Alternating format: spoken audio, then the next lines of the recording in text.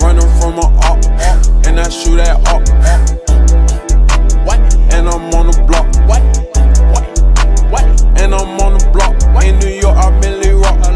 Hiding in my sock.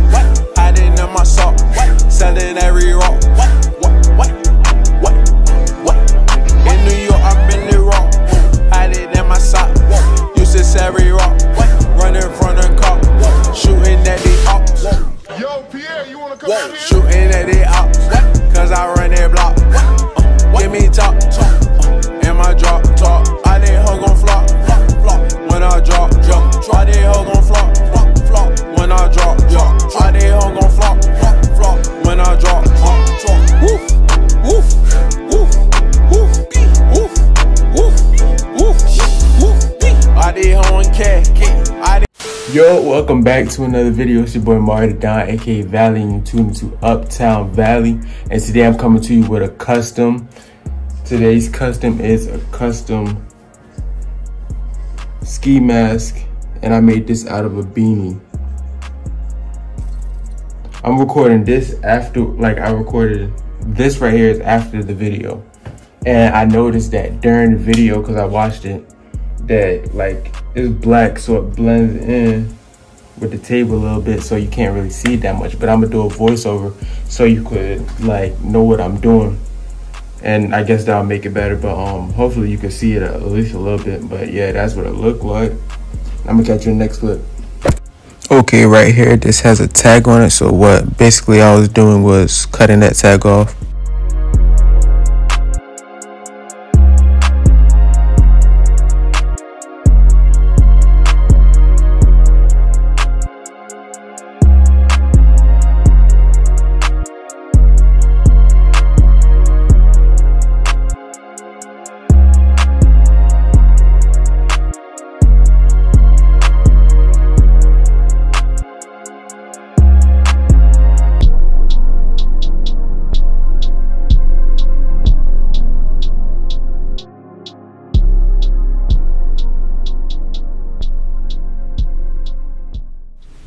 Okay, now that the tag is off, what you basically want to do is fit it on your head to like make sure where you want to put the eye holes and the mouth hole.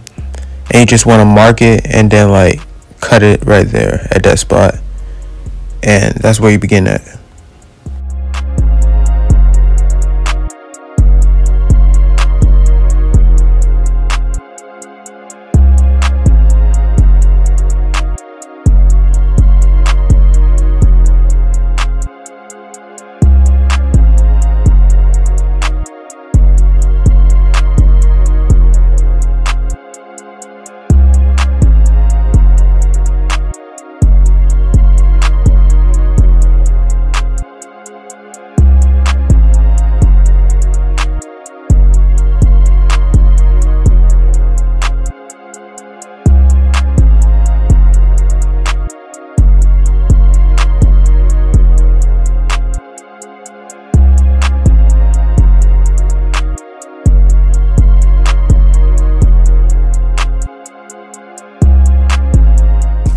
Alright, now that you've cut your eye hole and your mouth hole, what you want to do is sew that up.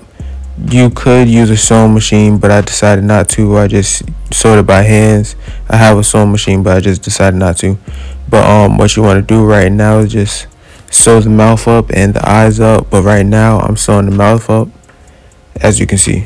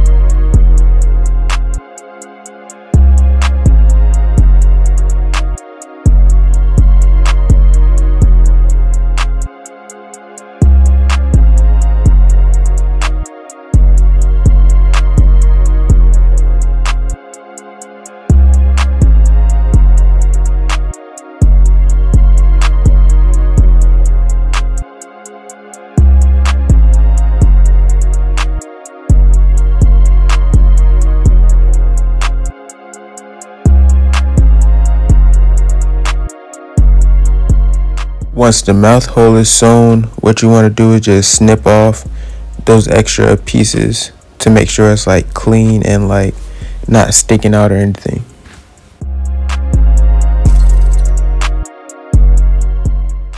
Okay, right here, I'm just cutting the material like where the eyes are supposed to be. So it could be like, you gotta just cut straight across where you put your eye marks and like connect those two eye marks. And then you wanna sew it on there. You wanna like, you could probably see it a little bit on here, but you just wanna sew, like fold it back and then you wanna sew it. But you gotta make sure that it's inside out to do that and then after that what you want to do is sew the top part to the bottom part as you will see in the next clip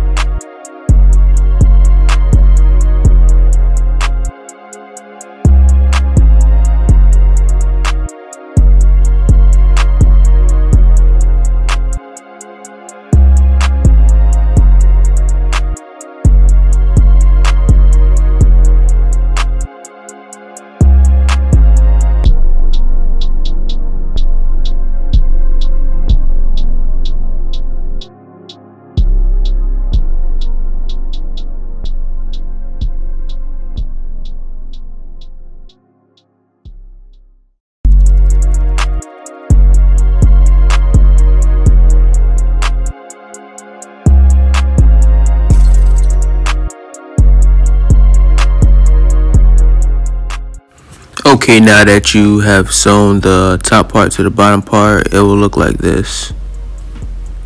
Alright, right now I'm just getting my materials together. This right here is puffy paint. And it just makes it look a little 3D instead of like flat like regular paint. But right here I'm just putting the V on it for Vallee. Even though it kind of looked like the V-Lone V or whatever like that. But it's for Vallee because I didn't want it to be a plain black. I, I wanted to be unique and like put a letter on it or something like that. But yeah, that's what that that's there.